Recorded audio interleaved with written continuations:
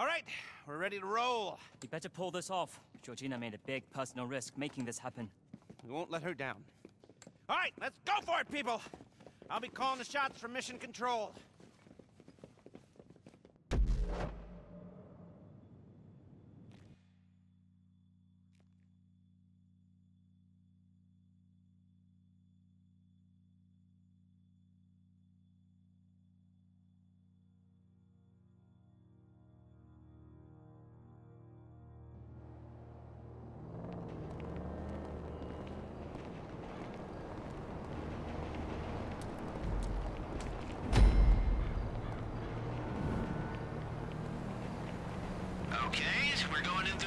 Door.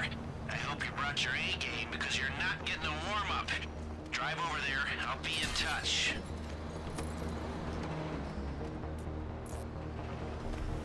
Okay, softly, softly approach. With the only crew I know who can speak so little and still make so much noise.